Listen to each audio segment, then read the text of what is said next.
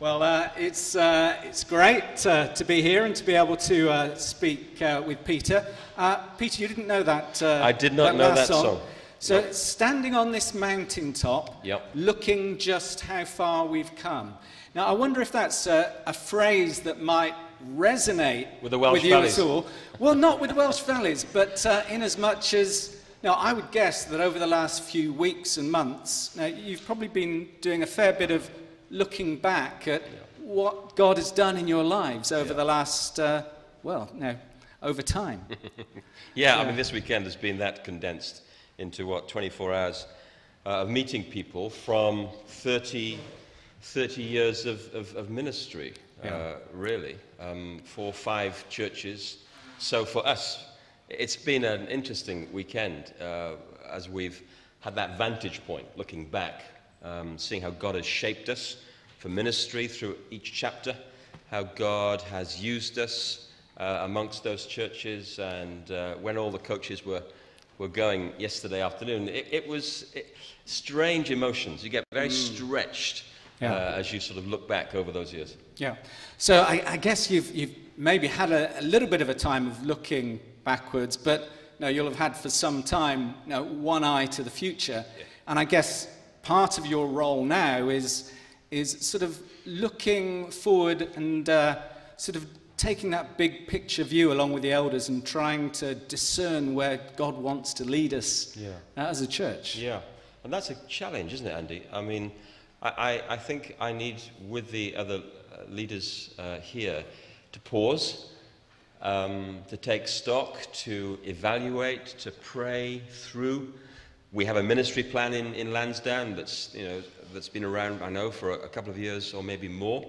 We have a, the prospect of this wonderful new facility in the next few years. We have an interim to manage uh, in probably 18 months' time when we're sort of going to be in the wilderness somewhere, wandering around the conurbation. Um, so, yes, lots of things to be thinking about, praying through. Yeah. But just right now, I want to try and be still and not rush uh, to hasty um, perspectives. Learn from what's been happening here over the years. It's just great to be joining the journey because this is, you know, this is a journey together Yeah. um, for all of us as we as we take the next So, step. so in part, a, a case of you know, taking stock, listening, and uh, yeah, starting to, to work through the.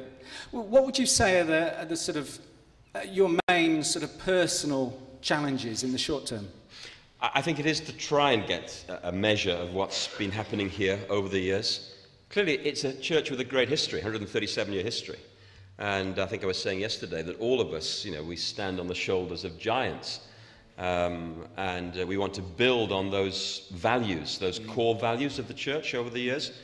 Uh, the same message, the same hope, the same gospel. And yet, if you don't adapt, you will die. And so we have to adapt who we are and what we are to the changing context of the 21st century. And I guess what I want, therefore, to try and reflect on seriously is what that might look like. You know, my role, along with that of others, is to, is to try, by the grace of God and by the help of God's Spirit, to, to see where we're headed with that glorious message that is a constant, and yet we need to adapt how we do church to face the uh, context that we're in now. Okay. Uh, yeah, I was, uh, yeah, I, I was taken by Lindsay Brown's uh, uh, talk uh, yesterday afternoon, and um, and two of his watchwords were servanthood and humility. And uh, so now, what are your thoughts? Yeah, is it is it difficult to be a, a strong and effective leader, and at the same time retain those qualities? It's a challenge. Of course, it's a challenge. I mean, we have all of us. We have the Lord Jesus as our great example, who was strength personified, but strength with gentleness, toughness with tenderness. And that's a, a unique combination, clearly, in, in, in the Lord Jesus. But it's something that every leader, indeed every Christian, should be aspiring to, uh, me amongst them. So, servant hearted leadership is the biblical character or quality or template, um, hopefully for my leadership and for that of the other leaders who will lead with me, you know, including uh, our, our youth leadership. So, so it, again, it, this is something that we can do together as we exhibit and model servant leadership. And I think that, that that we mustn't mistake, um, you know, uh, weakness for meekness. I, I, think leadership needs to be strong and mm-hmm. clear and decisive and sometimes make the tough calls.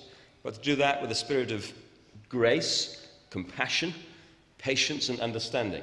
Um, so I think there's something that we can pray for each other, and especially for our leaders, that we'll have that, that Christ like combination of, of, of strength with sensitivity. Yeah. Um, so you've had a week, a week now in the office so yeah. far, so you've had a week to get your feet under the table. And to get lost uh, around the buildings. Yeah. So, what have you learned so far in I've that, in that short a, period of time? I've learned that this is the labyrinth. I said this morning in, in the sermon, it's a bit like Doctor Who's TARDIS. You sort of open a door and find another door, and then you find another door. So I've been enjoying that. And um, when you arrive somewhere for the first time, you see everything with a fresh pair of eyes. So again, this morning I, told the congregation that I, I found this, um, this, this poem called Don't Quit um, above the fire exit notice with the guy trying to run away, you know, and, and that just struck me as a, an interesting kind of perspective. So things like that just hit you uh, this week, come out, uh, yeah. uh, just, just new things, things that I guess you've walked past and seen for, for years. And yet I'm, I'm coming amongst you and, and they're just fresh for me. And, and some things make me smile and, yeah. and some things and challenge I, I, And I guess you've, you've also learned that the climate down here on the English Riviera is a, no, a bit different from what you're used to, I would think. well, I, I, have lots of people who follow me on, on Facebook and Twitter, and, and somebody said just this afternoon, it, has been, there's been four glorious, cloudless days of blue sky in Cardiff. So, so uh, th- I think there's a bit of competition Take your word for it. but it's been, the last week has been great. Uh, we've really it's enjoyed good, that. Yeah. Yeah. So how, how do you think you'll, you'll be spending your downtime? Uh, how do you like to relax? How do I like to relax? Well, uh, I'll be spending a Monday uh, relaxing. Tomorrow we've got breakfast in the Marriott with some people who've come from Cardiff.